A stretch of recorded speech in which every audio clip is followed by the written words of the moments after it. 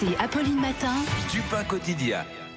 7h22, votre euh, rendez-vous consommation, vie quotidienne. Marie Dupin, avec ses réunions à distance, avec ce télétravail, avec le streaming, bah forcément notre consommation Internet a fortement augmenté depuis le début du reconfinement. Oui, on observe des niveaux de consommation d'Internet euh, identiques à ceux du premier confinement, ce qui peut paraître un peu surprenant parce que finalement les écoles, les collèges, les lycées sont ouverts, donc les jeunes, les plus jeunes ne passent pas leur journée devant des dessins animés, devant des séries, et pourtant la consommation est en hausse de 20% chez Orange par exemple, donc c'est quasiment le même niveau qu'au printemps, avec un fait nouveau, c'est surtout la consommation sur mobile, hein, sur nos smartphones, qui est en très forte hausse de plus de 30% par rapport à la période qui avait euh, précédé la crise. Et est-ce que cette très forte consommation a un impact sur le débit? Est-ce qu'un Internet concrètement fonctionne moins bien? Bah, En tout cas, les opérateurs disent tous que non, euh, que leur débit n'est pas du tout. Ça m'aurait étonné. Donc j'ai appelé les, entre... les responsables de l'entreprise NPerf qui a développé une application qui permet justement de tester son débit Internet. 10 millions de foyers ont testé leur connexion avec cette appli cette année, donc ça permet d'avoir une bonne vision de la situation.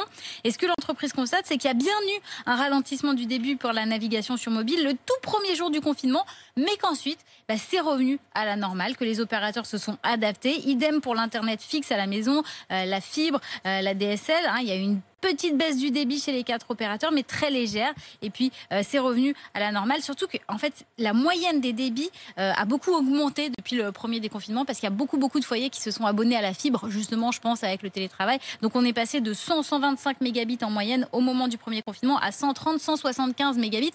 Ça veut dire concrètement que Internet fonctionne mieux aujourd'hui euh, qu'il y a quelques mois. Euh, mais bon, c'est une moyenne et on imagine que c'est assez euh, variable en fonction si on a la de l'endroit. si on a la DSL en fonction de l'endroit où on vit, évidemment, c'est très variable. Et alors, pour ce qui est de la télévision par Internet, alors je vais vous parler de mon cas, mais euh, chez moi, les, les films à la demande, eh bien, sont de, ça saute comme on dit, c'est-à-dire que c'est de moins bonne euh, qualité. Est-ce que c'est possible bah. que effectivement ce reconfinement ait eu un impact C'est possible. En tout cas, pendant le premier confinement, les autorités avaient demandé à MyCanal, Netflix, YouTube, euh, Amazon Prime Video de réduire la qualité de leur streaming pour utiliser moins euh, de bandes passantes, ce qui peut avoir un impact sur le visionnage des films. Donc c'est possible que ce soit de nouveau le cas pendant le confinement. Je vais me renseigner, Apolline. Merci beaucoup. je regarder vos films. Je peux peut-être vous écrire à l'adresse alomari.rmc.fr.